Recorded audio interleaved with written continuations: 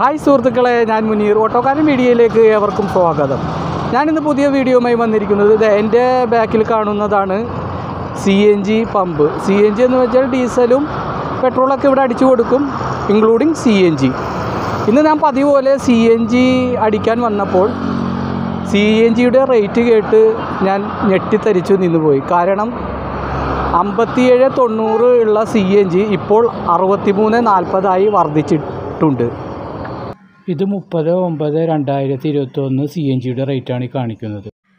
ഇത് രണ്ട് പത്ത് രണ്ടായിരത്തി ഇരുപത്തൊന്നിലെ റേറ്റും ഇതിനെപ്പറ്റി ഞാൻ പമ്പുകാരോട് ചോദിച്ചപ്പോൾ പമ്പുകാർക്കൊന്നും അറിയില്ല.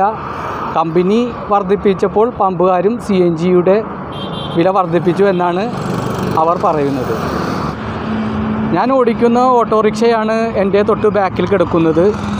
ഈ ഡീസലിന്റെ വില അടിക്കടിക്ക് വർദ്ധിക്കുന്നത് കൊണ്ട് ഞാൻ സി എൻ ജിയിലേക്ക് മാറാമെന്ന് വിചാരിച്ചിട്ടാണ്.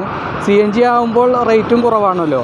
ഞാൻ മൂന്ന് വർഷം മുമ്പ് സി എൻ ജി ഓട്ടോറിക്ഷ എടുത്തത്. അന്ന് ഏതാണ്ട് ഞാൻ അടിക്കാൻ ചെന്നപ്പോൾ നാ നാൽപ്പത്തേഴ് അമ്പതായിരുന്നു പിന്നെ കൂടി കൂടി ഇപ്പോൾ ഇത്രയും റേറ്റായി. അറുപത്തി മൂന്ന് നാൽപ്പത് ആയി.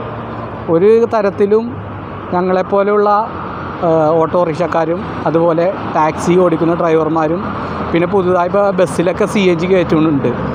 ഇത്രയും കാശ് മുടക്കി. അതായത് നമ്മുടെ കയ്യിൽ കാശ് ഉണ്ടായിട്ടൊന്നുമല്ല അവിടുന്ന് ഇവിടുന്നൊക്കെ പണയം വെച്ചും ബാങ്കിൽ നിന്ന് വായ്പ എടുത്തിട്ടാണ് ഈ വണ്ടികളൊക്കെ എടുക്കുന്നത്. അതുപോലെ തന്നെ ബസ് ഓപ്പറേറ്ററും ബസ്സുകാരും.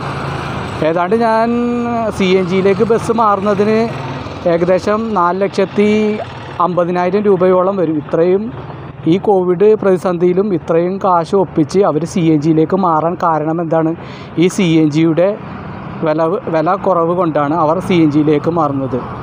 ഇങ്ങനെയും ഇത്രയും വില വർദ്ധിപ്പിച്ച് ഏകദേശം എനിക്ക് തോന്നുന്നത് ഏകദേശം ഒരു രണ്ട് വർഷമാകുമ്പോഴത്തേനും ഇത് ഏകദേശം ഡീസലിന്റെ വിലയിലും ഒരു രണ്ടോ മൂന്നോ രൂപ താഴ്ന്ന് നിൽക്കാൻ സാധ്യതയുണ്ട്.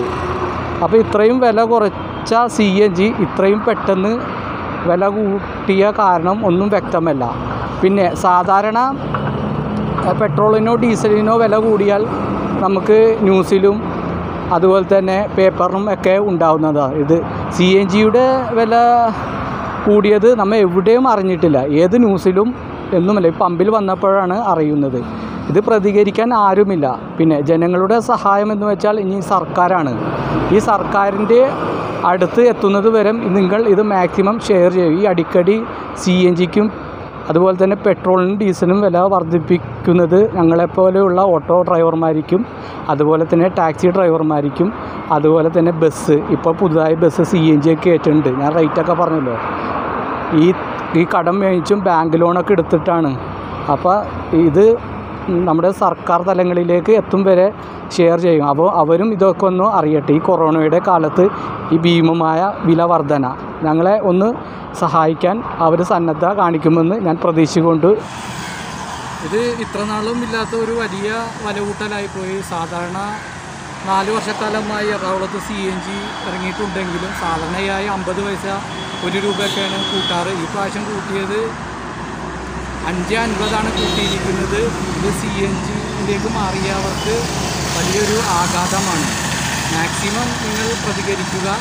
പിന്നെ എന്നെക്കൊണ്ടാവുന്ന വിധത്തിൽ എന്റെ ചെറിയൊരു ചാനലാണെങ്കിലും ഞാൻ അതിലൂടെ പ്രതി പ്രതികരിച്ചിട്ടുണ്ട്. അതുപോലെ എല്ലാവരും അവരവർ ആവുന്നത് പോലെ പ്രതികരിക്കുക.